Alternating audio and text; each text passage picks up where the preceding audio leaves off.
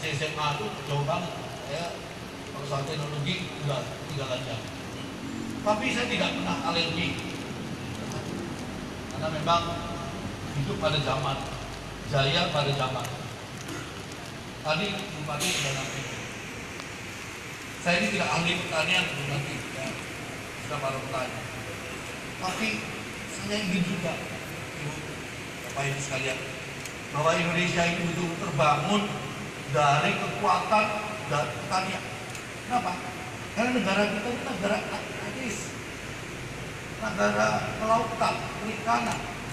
Harusnya kita hebat, kita hebat. Ini para pengusaha sudah membuktikan.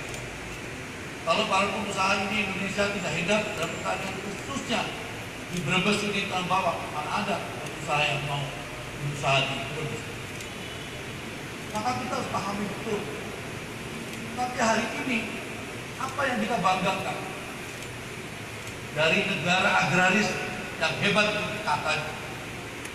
Zaman nenek moyang kita sudah, sudah ada lagunya. Plus plus sudah, sudah menentukan. Ya kan? Kita ini surga dunia. apa aja bisa ditanamkan di tumbuh di Indonesia tongkat kayu dan Tapi batu hari jadi ini tanaman. Kita terbukti bahwa itu tidak ada. Bayangkan hari ini kita semua hampir seluruhnya itu ketergantungan dengan impor. Impor. Kita bangga dengan impor. Itu luar biasanya kita.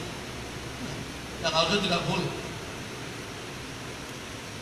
Bahwa ini ancaman sebenarnya. Kata saya cerita Pak Dandim, Pak Kapolres, ini generasi penerus saya yang akan memimpin negeri ini ke depan dari segi ketahanan dan pertahanan negara, keamanan pertahanan negara. Dua generasi, bantu oleh seluruh masyarakat. Nah kalau ini gagal, kita bisa bayangkan Indonesia kayak apa gitu. Ya, impor, apa yang impor sekarang? Tenaga kerja impor. Ini bahaya. Besok kalau saya dulu di BNN, kalau gagal program narkotik, bupati besok impor. Nah, nggak ada generasi yang bagus, rusak karena narkotik. Tidak ada generasi yang sehat karena pangannya tidak tercukupi. Hari ini kita semua bisa hadir di sini. Kenapa? Perut kita udah kenyang. Pangan. Kita bisa berpikir, bisa melangkah karena perut kita. Nah kalau perut kita tidak tercukupi, mana kita bisa dapat manusia sehat, kualitas tidak mungkin, sangat tidak mungkin. Ini yang pikiran sederhana. Satu negara itu hebat dan kekuatan negara ditentukan oleh manusianya. Manusia yang bagaimana? Yang sehat, cerdas pandai, berkualitas. Dari mana bisa dapat manusia yang cerdas, berkualitas? Makan, pangan. Hebatnya apa pun, pasukan, tempur. Nah, ini ada direktur pengadaan ini dulu Astel, Sentoritia. Tadi generasi perusahaan pasukan hebat apa pun kalau perutnya lapar nggak bisa maju kata utama itu adalah pangan. Ini yang harus kita pahami semua. Ya masyarakat lapisan apa pun bahwa swasembada pangan itu mutlak. Diawali dari ketahanan pangan. Ketahanan pangan itu kesediaan pangan. Bulog salah satu tugasnya adalah dari hulu ke hilir ketersediaan pangan, kualitas, sama kestabilan harga. Bayangkan tadi laporan Ibu Bupati kita. Petani dirugikan. Saya tadi tanya Ibu Bupati yang pasti paham tahu persis. Bu, tolong dicek berapa persen petani kita yang sejahtera. Berapa persen petani kita yang kaya.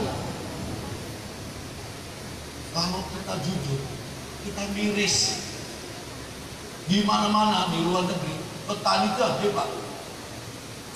Dia yang dihormat karena produsen pangan itu ada desa petani. Saya nggak bisa berdiri sini kalau nggak ada petani. Saya tidak bisa sehat kalau tidak ada petani. Saya tidak bisa makan kalau tidak ada tani. Ini yang harusnya kuncinya. Kita menghargai betul sama Tuhan. Coba dilihat di desa-desa, tapi generasi tani kita ada nggak yang muda? Apakah perkembangan pertanian 10 tahun yang lalu dengan sekarang berubah? Tidak.